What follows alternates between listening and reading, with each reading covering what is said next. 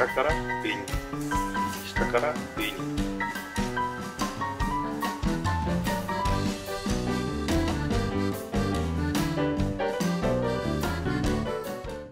いつもモンマルトルチャンネルをご視聴いただきありがとうございます。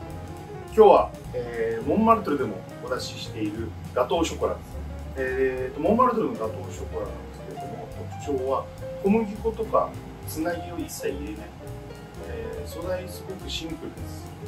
ちょっと今ご紹介しますね、えー、まずはチョコレートです、えーと、お店ではベルギーのチョコレート使ってるんですけどあのー、普通にスーパーとかで売ってるチョコレートでも作れます。でただあのミルクチョコレートとかではなくてあのダークなチョコレート。こちらを選んでください、えー、あとはラム酒、えー、粉糖バターグラニュー糖。で卵は卵黄と卵白に分けた状態。でこちらの方を準備してください。えーと、最初に準備するのはまずこの型ですね、えーと、今回は2 2センチの型と1 3センチの型この2つやっていきたいと思います。はい。で、えー、とまず型にこれ分量外のバターですね。この少しこう柔らかいこういう感じのバター常温で置いといた感じのバターですね。これを型にまんべんなく塗っていきます。こうこの周りもムラなく塗ってください。テフロンとかの型があるんだとこの作業はなくてもできます。はい。ただ僕はこの周りのこの小麦粉とバターがちょっと焼けた感じ。これがある方があの美味しいなと思うので、えー、お店ではいつもこういうような感じでバターつけてます。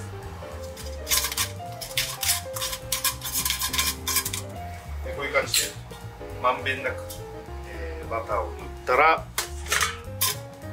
えっ、ー、と小麦粉ですね。これも分量外の小麦粉です。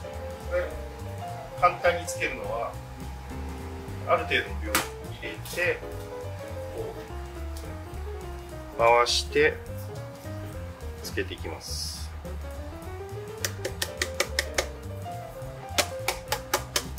で粉があんまり残ってると後でなんかこうちょっと焼き上がりも綺麗じゃないのでなるべく薄い感じ薄くこういう感じで、えー、型にきれいに。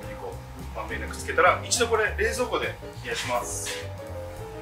これはもうあのバターを固めるっていう作業なので次ですね。このチョコレートとバター。これまずチョコレートの方にこのバター全部入れちゃいます。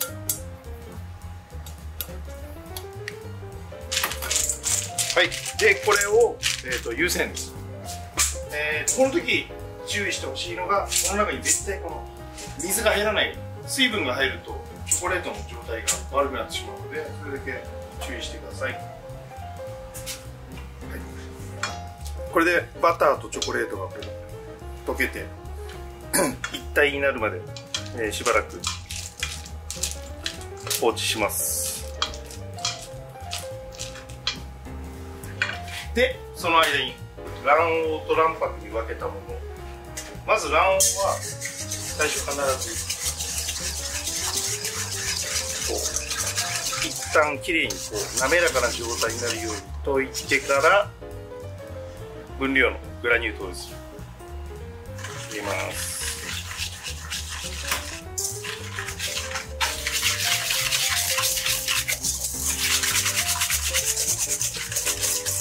この卵黄が白っぽくなるまでよくかきたてていきます。ここもポイントですね。ここの作業をしっかりやらないと,、えーと、仕上がりもだいぶ変わってきてしまいます。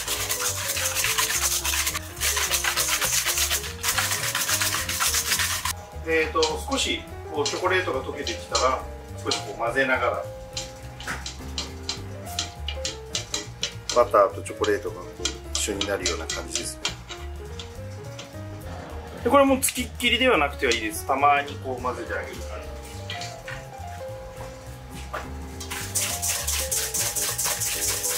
大体5分ぐらいですかね。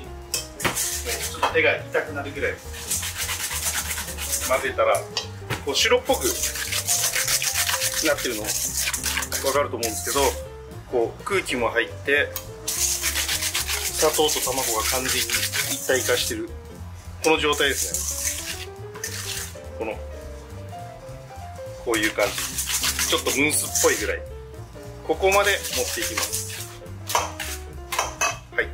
でこの時に絶対にオーブンは余熱でもう温めておいてください。このガトーショコラは125度から128度ぐらい。はい。で今オーブンの方余熱してます。はい。そしたらショコショコラとバターこういう感じですね。はい。完全に溶けてこう合わさったら先ほどのこのえ、ー、と卵と、えー、グラニューと合わせたボウルに入れていきます。で必ずちょっとこう動かないように下にこうタオルとかを置いてやると作業がしやすいです。はい。でここポイントですね。あの一気に混ぜると,、えーと、状態悪くなったり分離したりするんで、えー、まず少し本当に少しの量入れます。で少し全体を合わせあのなじませる感じです。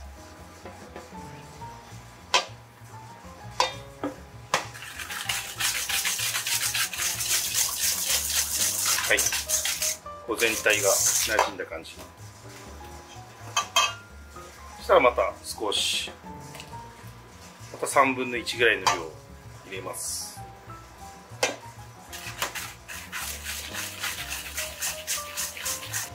またさらに全体量の3分の1ぐらいの量。ここは本当に 慌てずに、えーと、と3回ぐらいに分けて合わせていってください。残り全て入れます。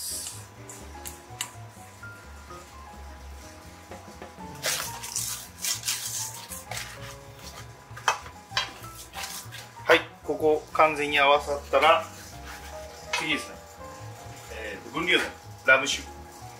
ラム酒入れます。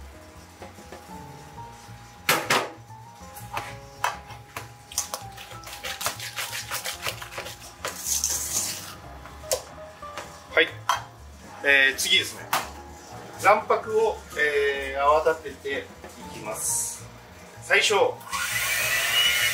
低速でいいです。低速で卵白の腰を切っていきます。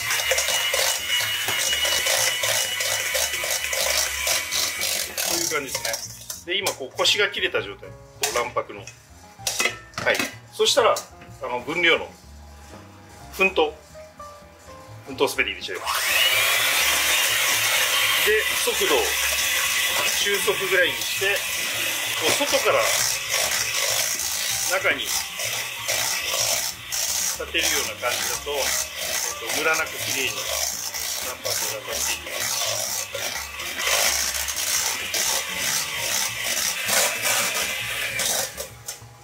はいここですね。このふっとこう角が立つぐらいの逆さにしてもこう落ちないぐらいです。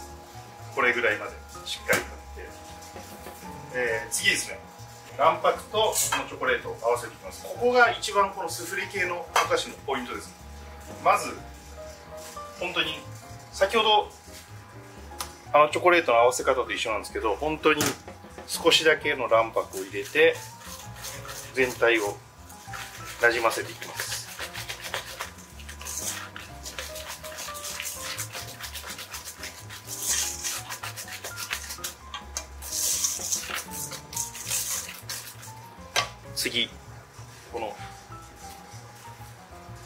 3分の1ぐらいの量です。入れてここまではこのホイッパーで大丈夫です。なるべくこう泡を潰さない感じで。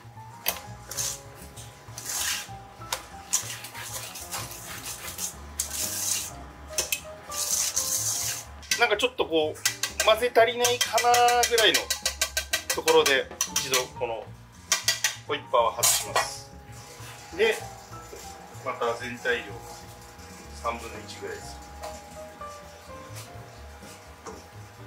はい。そしたらこのボウルの中のこう卵白をこう切る感じで合わせます。こうすることであの卵白のこの気泡が潰さないように。でこのボウルの下から上に下から上に下から上に切る感じですね。この合わせ方がすごいポイントになってきます。はい。そしたら残りの卵白すべて入れます。切るように。でボウルの下から上に。下から上に。下から上に。下から上に。で切ってあげる。はい。こんな感じですね。もうちょっとこう混ぜたいなっていう気持ちあるんですけどここで大丈夫ですもう。はい。そうしましたら、えー、先ほど冷蔵庫に冷やしてやるパターン。出します。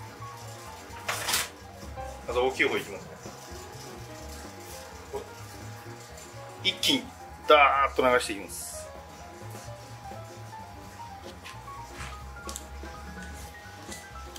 量は何を目安に入れたらいい？そうですね。大体肩の半分ぐらい。あのこの後あのこの上に上がってくるんで。軽く上から2回ぐらい。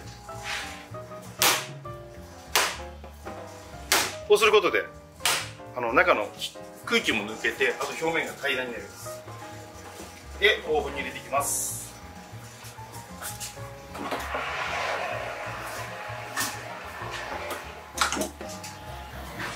この時もオーブンの温度をなるべく下げたくないんで素早く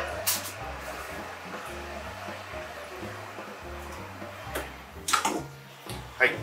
で128度で今回はまず最初30分入れていきます。はい。今ちょうど30分経ちました。でこの時に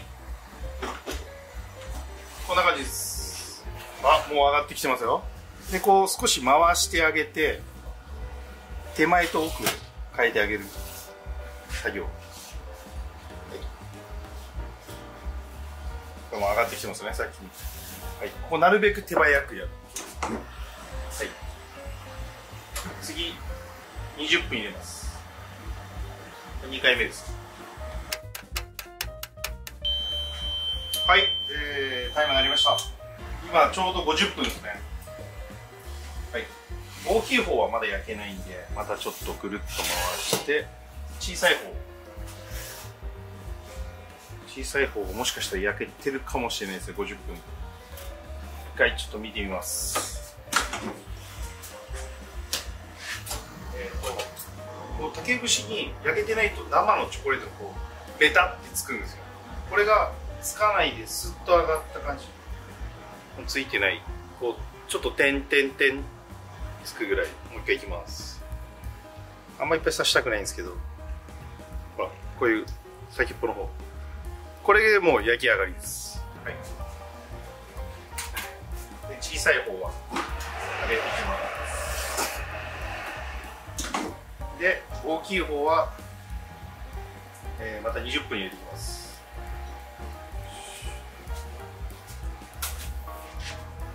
いい香りですね。でこのガトーショコラのちょっと特徴なんですけどこの焼き上がって熱いうちにこの周りにこう包丁とかでこう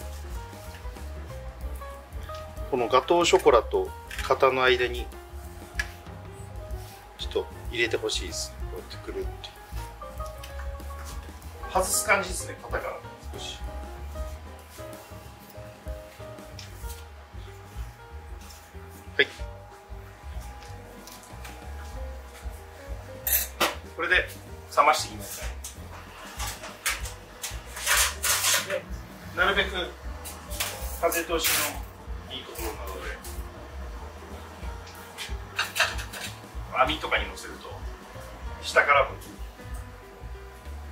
気が入るので冷めるのがいい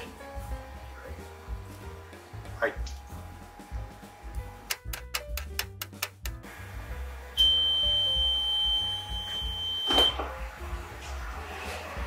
はい。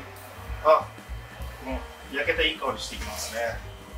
ちょっと刺してみますあいい感じですね。はい。これでもう焼き上がりです。で表面も少しカリッと。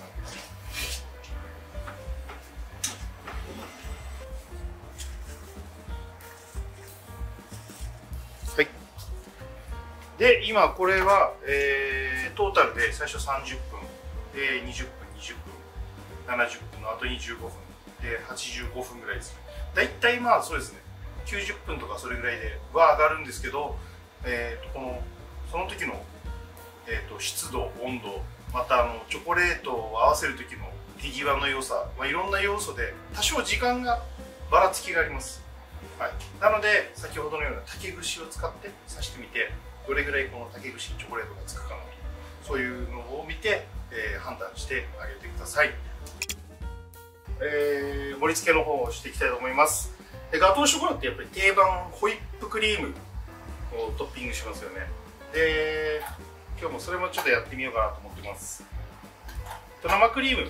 うちは42%の生クリームなんですけど38%とかでも全然問題ないです。で生クリームはホイップするときに下に氷当ててで、えー、お砂糖今日奮闘で大体目安えっ、ー、と10%ですね。生クリーム。生クリーム 100cc だったら 10g のお砂糖です。であとはもう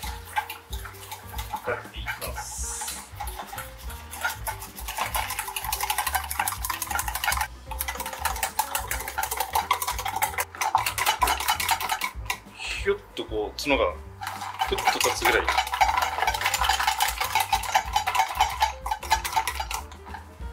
はいこんな感じです。そしたらガ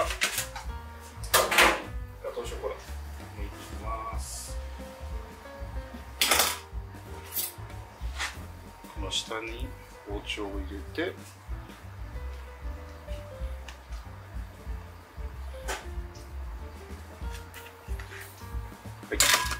大きさはお好みで全然いいんですけどこの大きさだったら1人前4分の1ぐらいでもでいいかなと思います。はい。あとガトーショコラやっぱり上から粉糖を少しか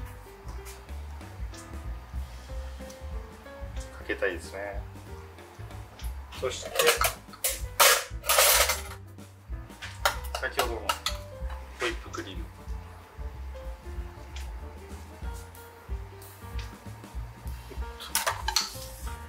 あと、えー、ミントがあればミントとか。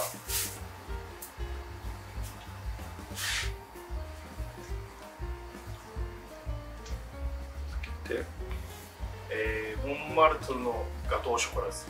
試食させていただきます。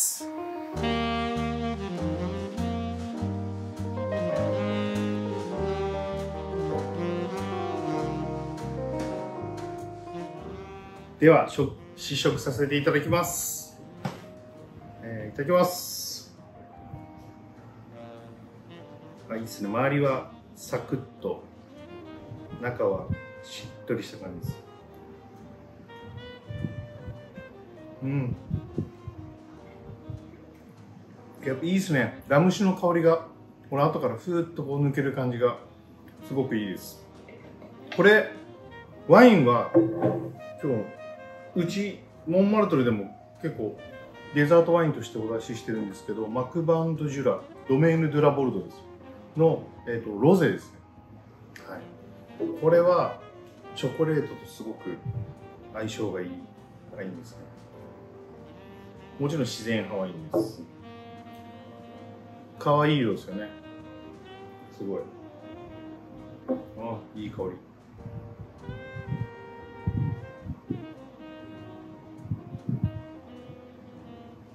うん。いいですね。食後にこのガトーショコラとマクバンドシュラ最高のマリアージュだと思います。うん。ご家庭のあのオーブンレンジでも作れますので皆さんぜひ挑戦してみてください。今回のガトーショコラ、えー、よかったなと思う方は高評価そしてチャンネル登録もお願いします。またリクエスト質問もお待ちしておりますので、えー、これからもモンマルトルチャンネルよろしくお願いします。